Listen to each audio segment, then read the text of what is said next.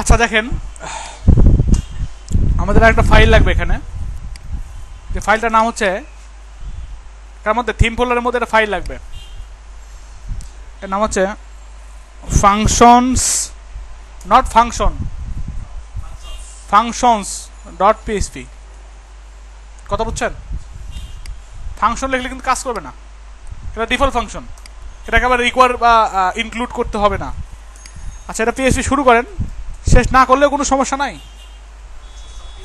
হ্যাঁ, কারণ পিএসপি লিখবে এই ফাইলের মধ্যে। আচ্ছা এখানে গিয়ে এখানে আমরা টাইটেল দিছি না? এখানে টাইটেল দিছি কোথায়?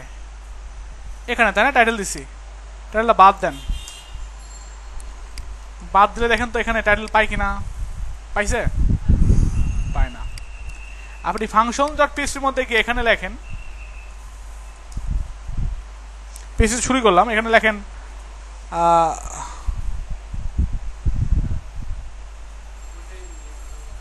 add theme S U double P O R T support add theme support মানে এই এই থিমের থিমকে সাপোর্ট দেওয়ার জন্য এটা অ্যাড করতে হবে এটা ফাংশন এর মধ্যে অ্যাড করতে হবে হচ্ছে টিআইটি এলি টাইটেল হাইফেন টিএজি ট্যাগ এই কথাটা। এবার রিলোড দেন দেখেন তো পাই কিনা। আসছে automatically welcome to our website just add আমাদের ওয়ার্ডপ্রেস সাইট চলে আসছে এইটা লেখার কারণে। কথা বোঝা গেছে? আচ্ছা আবার এখানে দেখেন, এখানে থাকে হচ্ছে মেনু থাকে, এখানে থাকে হচ্ছে আপনার ব্যাকগ্রাউন্ড থাকে, এখানে থাকে হেডার থাকে, এখানে থাকে আরও মেনু উইজেট থাকে, তাই না? জিনিসগুলো নাই। এখানে অ্যাড থিম সাপোর্টের মধ্যেই লেখেন।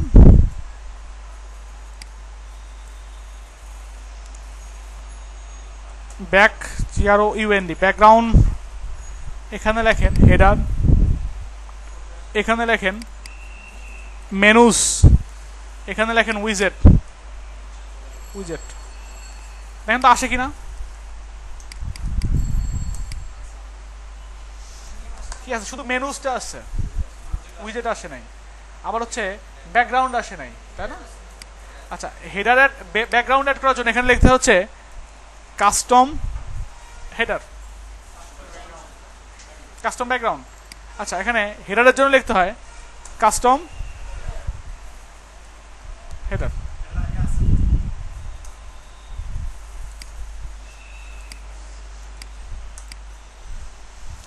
ব্যাকগ্রাউন্ড হেডার আসছে আচ্ছা উইজেটের জন্য এভাবে আসবে না। উইজেটস লেখেন তো, দেখেন তো আসে কিনা।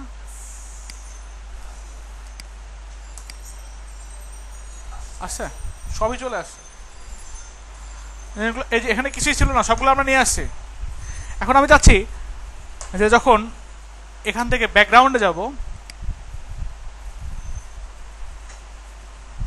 এখান থেকে এই ব্যাকগ্রাউন্ড ইমেজটা চেঞ্জ করতে পারব। কথা বুঝতে পারছেন? এখানে ব্যাকগ্রাউন্ড ইমেজ দেওয়া আছে কোনটা, বা আমরা যাচ্ছি হেডারের এই ইমেজটা চেঞ্জ করব। হেডারের মধ্যে যান, আমরা যাচ্ছি এখান থেকে একটা অন্য একটা ইমেজ দিয়ে দিলে সেই ইমেজটা চলে আসবে এখানে। কথা বুঝতে পারছেন? এখন কেমনে দিবেন?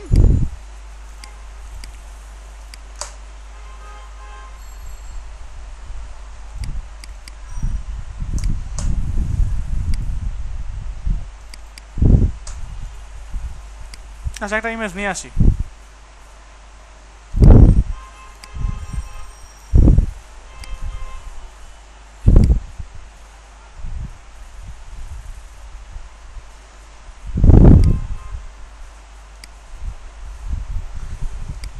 আচ্ছা এখন যাচ্ছি, এখান থেকে এই ইমেজটাই দিয়ে দিতে। যখন সেভ দেব। এটা এখানে অ্যাড হয়ে যাবে। মানে অ্যাড হচ্ছে? অ্যাড হচ্ছে না। সেটা কেমনে করবেন অ্যাড অ্যাড করার জন্য আগে আপনার দেখতে হবে যে এখানে আসলে কোন ইমেজটা পাচ্ছে। এখানে ইমেজের মধ্যে এইটা, এই, এটা হচ্ছে ইমেজের নাম, তাই না? আমরা একটু স্টাইলার সিএস এর মধ্যে ইমেজটা একটু খুঁজি। তার মধ্যে আছে? এর মধ্যে আছে। আমরা জানি যে স্টাইলার সিএস এর মধ্যে কোনো পিএসপি কাজ করে না। জানি তো নাকি? এটাকে কাট করেন কাট করে আমরা জানি মেইন পিকচারের মধ্যে যে আইডিয়া আছে তার মধ্যে পিকচার নামে ক্লাসের মধ্যে আছে এটা। মেইন এটা না তো? এই এখানে মেইন পিকচারের মধ্যে পিকচার নামে ক্লাস এর মধ্যে তো আছে নাকি? এর মধ্যে ব্যাকগ্রাউন্ড ইমেজ হিসেবে আছে। আমরা তো এর মধ্যে স্টাইল ট্যাগ দিতেই পাই নিতে পাই না? এর মধ্যে এটা বসাই দিলে কাজ করবে না? দেখেন কাজ করে কিনা? এখন কাজ করছে না কি কারণে? কারণ হচ্ছে এখানে পাঁচটা ওই আগের মতো হয়েছে। সেজন্য আমরা কি করতে পারি এখানে? এখানে পিএইচডি শুরু করতে পারি। শেষ করে বলতে পারি কি echo get template directory URI এটা দিলে ওই ইউআরআইটা পেয়ে যাবে। কথা বুঝতে পারছেন? এখন দেখেন চলে আসবে এটা।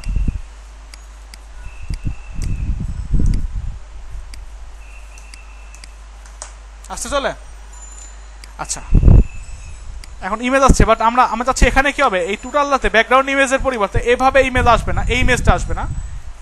এখানে একটা ফাংশন বলে দেন, যে ফাংশনটার মাধ্যমে এখান থেকে যে ইমেজটা আমরা অ্যাড করব, সেই ইমেজটা গিয়ে এখানে বসে যাবে। কথা কি বোঝা গেছে? সেজন্য ফাংশনটা বসাবেন কি কীভাবে? এখানে বলে দেন পিএইচডি শুরু শেষ।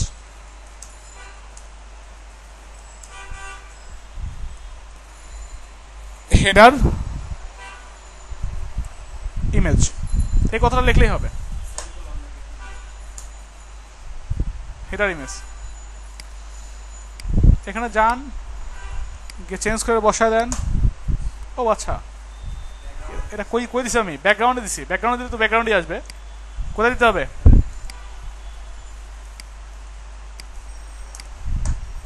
আসছে কথা কি বোঝা গেছে নাকি? এই হচ্ছে অবস্থা। আমি চাচ্ছি যে এখানে ব্যাকগ্রাউন্ড ইমেজ চেঞ্জ করব। এখানে সাইজ টাইজটা ঠিক ঠিক করা যাবে। করা যাবে না? এখানে আপনার ব্যাকগ্রাউন্ডের আপনার সাইজে দেন। Back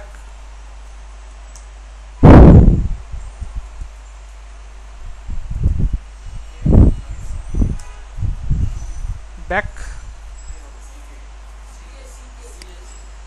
background size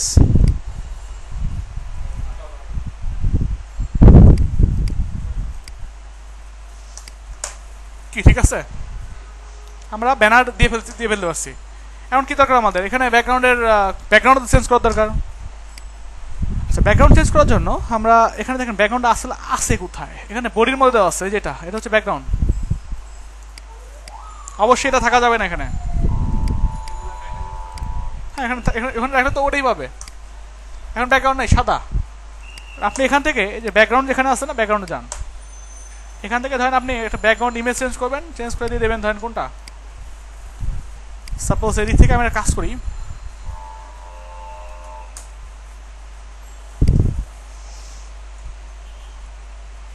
PNG background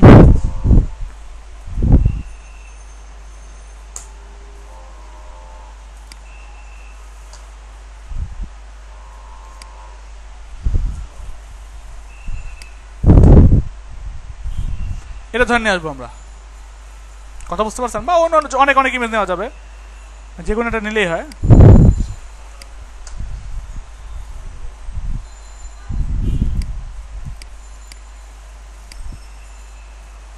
এখন, এটা দেওয়ার জন্য আমাকে কি করতে হবে? এখান থেকে ইমেজ আনতে হবে। কোনো ভালো আছে? এটা ভালো আছে না?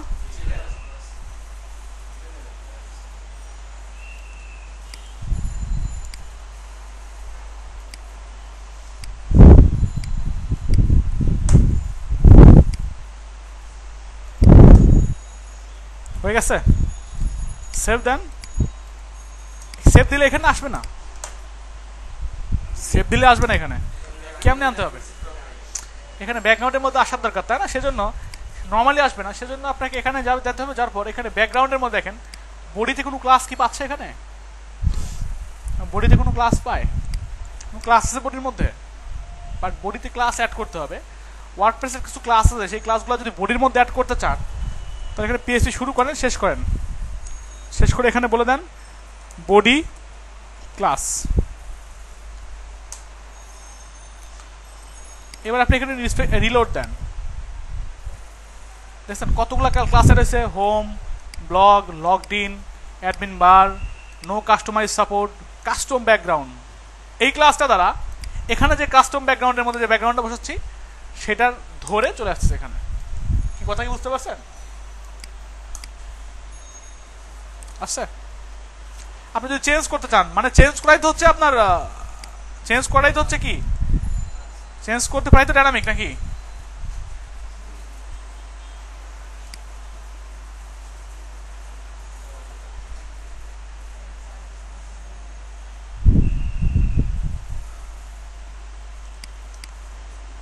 ভালো লাগবে না? সাদা সাদা টাইপের হবে।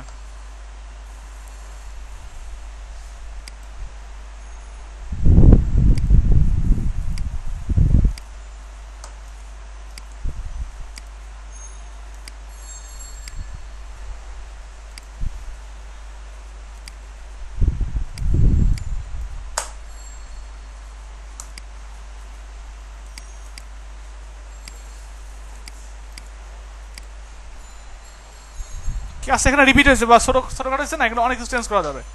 এই যে আপনার অলভাবে শো করবে রিপিট হবে কি হবে না, কোন দিক থেকে শো করবে, ঠিক আছে? এখানে রিপিট ব্যাকগ্রাউন্ড ইমেজ রিপিট হবে কি হবে না no repeat scroll scroll scroll হলে পরে যে জাস্ট উপরের দিকটা স্কল হবে। সব কিছু এখান থেকে সেট করা যাবে। এখানে যেটা লিখবেন, ওখানে গিয়ে ওইটা অ্যাড হয়ে যাবে। কথা বুঝছেন? পারা যাবে তো নাকি?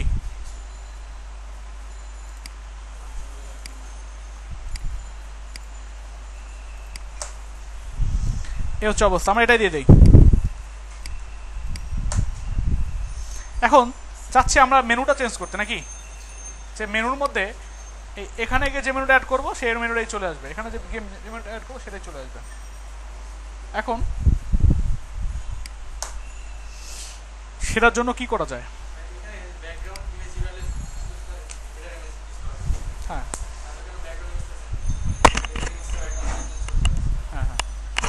বুঝলি আপনার কথা। এখানে হেডার ইমেজটা হেডার ইমেজ বলতে বোঝানো হয়েছে এটা। এটা। এটা ব্যাকগ্রাউন্ড ইমেজ হ্যাঁ। ব্যাকগ্রাউন্ডের মধ্যে না। ব্যাকগ্রাউন্ড টোটাল বডিতে পাচ্ছে। ব্যাকগ্রাউন্ড পাচ্ছে কোথায়? বডিতে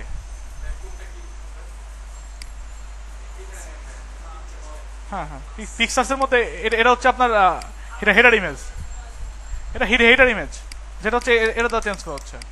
আর এই টোটাল যে ব্যাকগ্রাউন্ডটা এটা দ্বারা বোঝানো হয়েছে হচ্ছে, এটা বডিতে বসে বসেছি বডি ক্লাস দিয়ে আমি কাস্টম ব্যাকগ্রাউন্ড দিয়ে আনছি। কাস্টম ব্যাকগ্রাউন্ড ট্যাগ ইউজ করে নেই। Body class body class use করছি। হ্যাঁ বডিতে যদি বডি ক্লাস ইউজ করেন, তো ব্যাকগ্রাউন্ডে গিয়ে যেটাই দিবেন ওটাই ওটাই বডিতে পেয়ে যাবে। কথা বুঝছেন? এবার মেনু নেবেন। আমরা জানি মেনুর ডিজাইনটা এরকম কি? মেনুর ডিজাইন এরকম হয়? মেনুর কি ডিজাইন এরকম হয়? মেনু ডিজাইন কীরকম হয় কখনো? মেনু কি কীরকম হয়? ইউএলএল দিয়ে হয় না এটা কীরকম ডিজাইন আর চিন্তা করছেন? এই জন্য এরকম করে করছে, কারণ এটা একটা ফালতু থিম আচ্ছা মেনু এরকম হয় না, আসলে মেনু নর্মালি কীরকম হয়? ইউএলএল দিয়ে হয়। ইচ্ছা করে এর মধ্যে রাখতে পারি ইচ্ছা করে চেঞ্জ করে দিতে পারি। যেমন এখানে চেঞ্জ করে দিতে পারি ইউএল এর মধ্যে হবে এলআই তার মধ্যে হবে এ। তাই তো নাকি? এখন এখানে ধর বসায় দিলাম। Hash, home, about, portfolio, services, contract. এটা যদি বসাই দিই কোনো ডিজাইন ঠিক থাকবে? এরকম হয়ে গেছে। এখন, কারণ ওখানে ডিপ দিয়ে তো ইউএলএল আসবে না। আমাদের মেনু যদি আমরা করি, তাহলে মেনুর মধ্যে অবশ্যই ইউএলএল থাকতে হবে। এখন এটা ডিজাইন ঠিক করার জন্য আমরা কি করতে পারি? সিএসএস যেতে পারি। এখানে কি করা আছে? এখানে এটা দ্বারা বুঝেছে হচ্ছে এলআই এটা দ্বারা বুঝেছে কি? এলআই কাজ করতে পারি। পেজের মধ্যে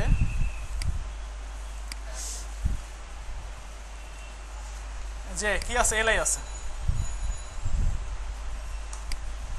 আবার পেজের মধ্যে যে এলআই আছে, তার মধ্যে যে এ আছে। কথা বুঝছেন? সিস্টেম করে ফেললাম। এখানে তো ডিজাইন ঠিক থাকে ঠিক থাকে না ঠিক আছে? আচ্ছা বাট এখানে এ আবার কি আছে? এবার এখানে আবার একটা কারণ এখানে এলআই ছিল না তো এই জন্যই। এলআইটা বাদ দেবো কেমনে?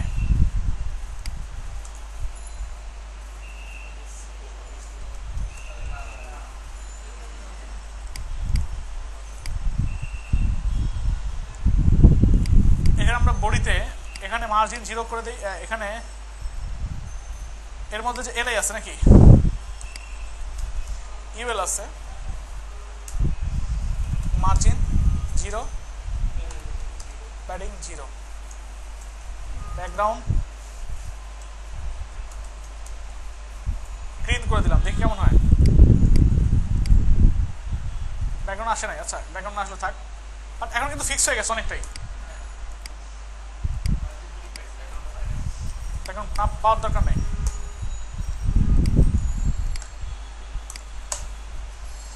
আচ্ছা হচ্ছে অবস্থা। ব্যাকগ্রাউন্ড পায় না কি বলেন তো? ফ্লোট লেফট করা আছে তো? ফ্লোট লেফট করা আছে মেবি কই? ফ্লোট লেফট করলে কি আসলে পায়? পায় না, এই জন্য ব্যাকগ্রাউন্ড পায় নাই। এখানে ব্যাকগ্রাউন্ডও পাইতো সেজন্য কি করা লাগতো? কন্টেন্ট ফাঁকা ডিসপ্লে ব্লক ক্লিয়ার কর। এখানে দিলে হইতো বাট কি করা লাগতো এখানে? যে এলআইটা আছে ইউএল এরকে আফটার করতে হতো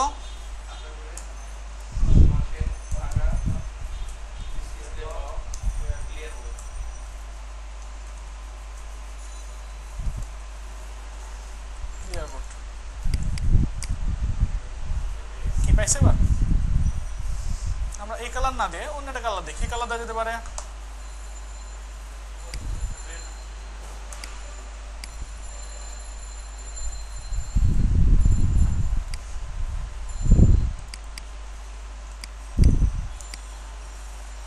ঠিক আছে জাস্ট এটাই দিলাম আর কি, বোঝার জন্য। কারণ একদম সাদা তো খারাপ দেখা যাচ্ছিল। এখন এটা আসবে থেকে এই মেনুটা আসবে হচ্ছে, যখন আমরা এখানে গিয়ে মেনুতে গিয়ে সেট করব। এখানে গিয়ে যখন মেনু সেট করব। সাপোজ আমরা এখানে নাম দিলাম যে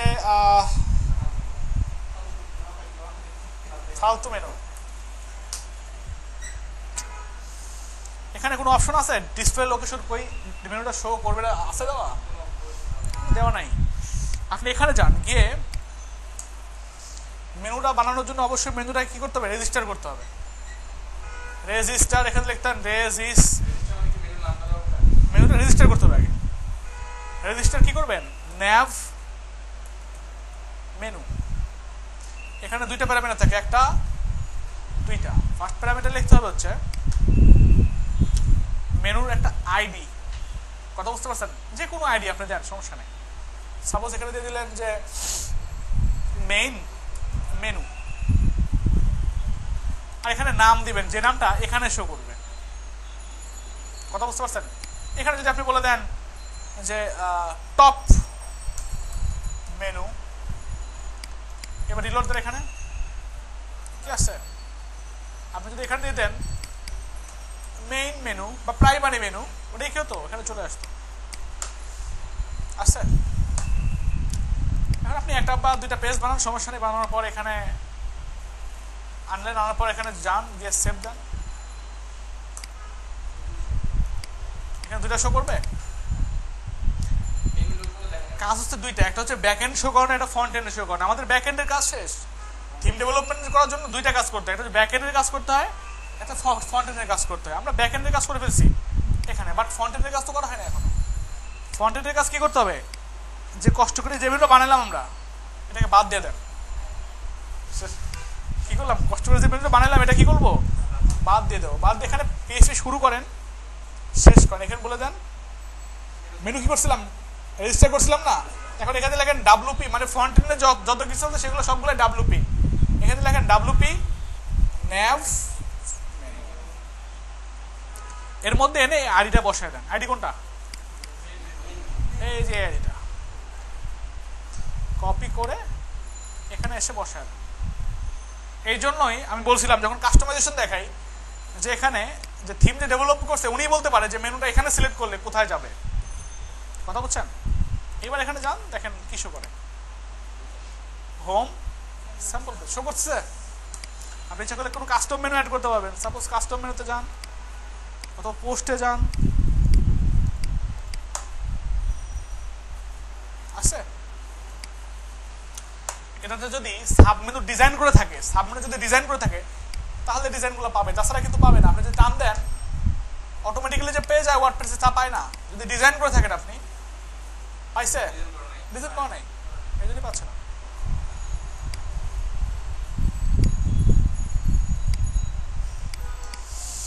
তাহলে শুধু ওয়ার্ডপ্রেস জানার জন্য ওয়ার্ডপ্রেস শুধু জানলেই হবে না, কি করতে হবে আপনাকে? এস্টিমেল সিএসএস না জানলে ওয়ার্ডপ্রেস বুঝলেন এটা কি এটা কি? যেমন যে কাজটা ডিজাইন করে নিলাম ইউএল এলআই দিয়ে, এগুলো যদি আপনি না জানতেন এস্টিমেল সিএসএস বুঝতেন? আকাশ থেকে পড়তেন, এগুলো কি? এটা হচ্ছে মূলত থিম ডেভেলপমেন্ট কথা বুঝতে পারছেন? থিম ডেভেলপমেন্ট এতটুকু। এটা নিয়ে একদম সর্বনিম্ন বেসিক একটা কনসেপ্ট দিলাম আপনাদের। কথা বোঝা গেছে? আচ্ছা এটা এটা খুব ভালো করে প্র্যাকটিস করবেন আর সাবমিট আপনাদের বানানো দেখাই দিচ্ছে অলরেডি ঠিক আছে এখন দেখাচ্ছি কি? এখন ডেভেলপমেন্ট দেখাচ্ছি না? এখন কি আবার এস্টিমেট শুরু করা সম্ভব আমার? আপনি যদি ঠিক মতো প্র্যাকটিস না করেন, আমি কি করতে পারি? ওটা ডিজাইন করবেন। ওটা যদি ডিজাইন করা থাকে সিসি যদি ডিজাইন করা থাকে জাস্ট টান দিয়ে বসা দিলে অটোমেটিকলি কাজ করবে।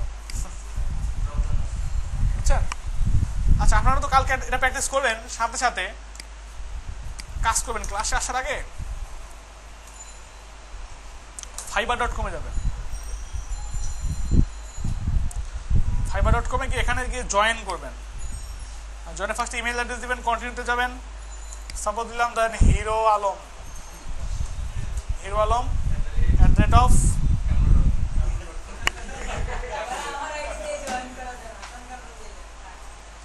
Kamrul dot com এখানে একটা ইউজার নেম দিতে হবে। ইউজার নেম দিতে হবে ইউনিক ইউজার নেম সাপোজ ধরেন ইউনিক অনেক সময় দিলেন কামরুল দিলে, বলবে যে নাম আছে। অলরেডি আছে। তো কাম Kamrul under score K H দুই ধরেন দিয়ে দিলেন। এখন এখন বলবে হয়ে গেছে। এবার এখানে একটা ইউজার নেম দিবেন। ইউজার নেম দিয়ে জয়েনে ক্লিক করলে জয়েন হয়ে যাবে। কথা বুঝতে পারছেন? বাট ফাইবার এর কিছু নিয়ম কানুন আছে। নাম্বার ওয়ান নিয়ম ফাইবারে কাজ করার জন্য পিসিটা হইতে হবে ইউনিক একটা পিসি মানে ইউনিক আপনার পিসিতে একটা অ্যাকাউন্টই করতে পারবেন। আপনি চাইলে দুই তিনটা ব্রাউজার থেকে দুই তিনটা ফেক অ্যাকাউন্টের মতো ফেসবুকের মতো চালাতে পারবেন না। নাম্বার ওয়ান শর্ত নাম্বার টু শর্ত এটা অবশ্যই একটা রিয়েল আইপি হতে হবে প্লাস ইউনিক একটা আইডি আইপি হতে হবে।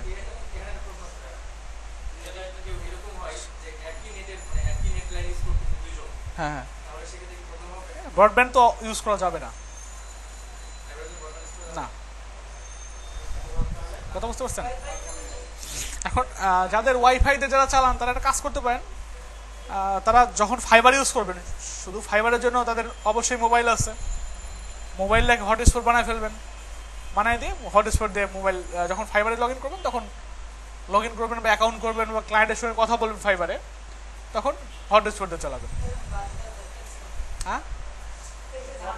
এটা এটা এটা আমার এটা আমার নিয়ম এটা ফাইবারের নিয়ম। আপনি যদি অনেক সময় দেখবেন যে অনেকেই হয়তো এই নিয়ম ভঙ্গ করে অ্যাকাউন্ট করে বাট তাদের অ্যাকাউন্ট বেশি দিন চলে না। একটা সময় পর অ্যাকাউন্ট নষ্ট হয়ে যায়। মনেন তো কেনার দরকার নেই মোবাইলে চালাতে পারবেন। হ্যাঁ? পিসিতে যখন কাজ করবেন, আপনার লাইন নিয়ে নেবেন মোবাইল থেকে। দেয় না কখন? আপনি যদি কথা বলে নিতে পারেন নেন, সমস্যা নেই।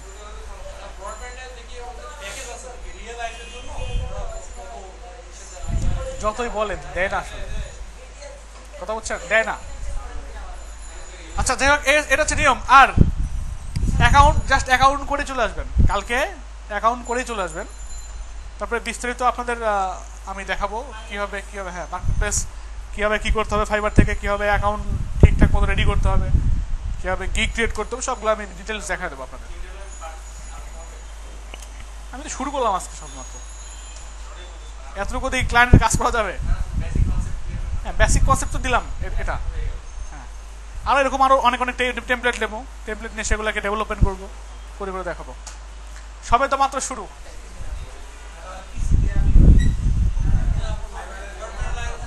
হ্যাঁ? না না। আর আরেকটা একটা কাজ। স্মার্টফোন থেকে স্মার্টফোন থেকে অ্যাপস পাওয়া যায়। প্লে স্টোরে গিয়ে ফাইবার লেগে সার্চ দিলে অ্যাপস পাবেন। ওই অ্যাপস আপনি ওইটা যে কোনোভাবে চালাতে পারবেন। ওটা- ওটা দিয়ে আপনি মোবাইল ওয়াইফাই বা যে কোনো সেখানে যে কোনো নেট থেকে চালাতে পারবেন। কোনো সমস্যা নেই। কথা বুঝতে পারছেন? এ হচ্ছে ব্যাপার। আর আর অনেকেই ভিপিএন ইউজ করতে যায়, ভিপিএন ইউজ করবেন না। কথা বুঝতে পারছেন?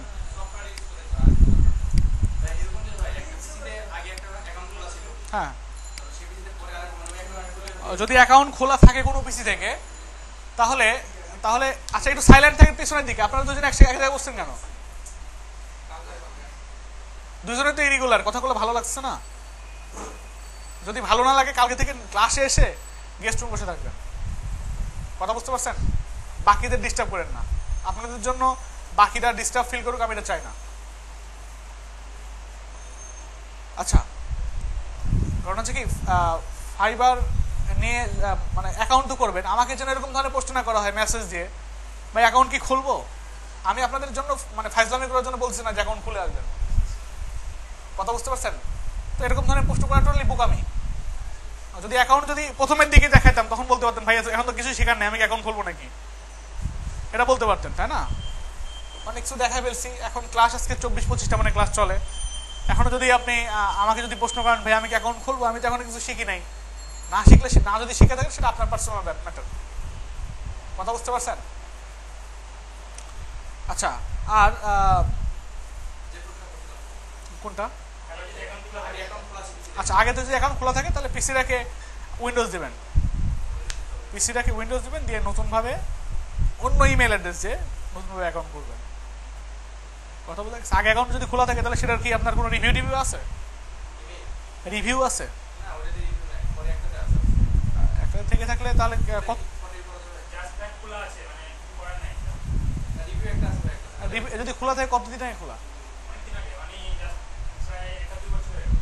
দুই বছর হয়ে গেছে। ওখানে কোনো আপনার এভারেজ যে একটা ই থাকে এভারেজ রেসপন্স টাইম ওটা কীরকম দেওয়া আছে? আচ্ছা। তাহলে তাহলে নতুন করে নতুন করে উইন্ডোজ দিয়ে নতুন করে খুলে নিয়ে চলে আসবেন, কালকে। সবাই সবাই যেন খুলে নিয়ে আসেন। হ্যাঁ? কি বললাম? হ্যাঁ। ঠিক আছে। অবশ্যই সমস্যা হবে। ক্লায়েন্ট কাজ দেওয়ার সময় যদি আপনাকে দেখে আপনি দুই ঘণ্টা পর হচ্ছে উত্তর দেন। হ্যাঁ হটস্পট দেখ মোবাইলে খুলতে গেলে ঝামেলা একটু। খুলতে পারবেন, সমস্যা নাই। হ্যাঁ আপনি, আবার আবার ল্যাপটপ দিয়েও সিস্টেম আছে, আমি কালকে দেখাই দেবো। যদি আপনার আপনি অনলাইনে ফাইবারে অনলাইনে থাকবেন মোবাইল থেকে। যখন মেসেজ আসলো তখন তো বুঝতে পারবেন। হটস্পট হটস্পট আমি দেখাবো না। হটস্পট একদম বেসিক কনসেপ্ট এটা এটা আমার দেখানো উচিত হবে না। আপনার যে কোনো একটা ফ্রেন্ডকে আপনার যে কোনো একটা ফ্রেন্ডকে বললাম দেখাই দেবে। হ্যাঁ। হয়ে যাবে না। ওটা ইউজ করা উচিত হবে না। কারণ আপনি অ্যাকাউন্টটা যে একটা রিভিউ পাইলেন, তখন বন্ধ করে দিল তো ফাইবার থেকে। সমস্যা না?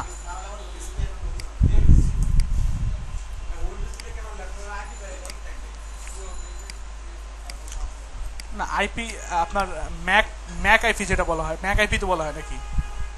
ওটা ওটা রিসেট হয়ে যাবে। সমস্যা হবে না।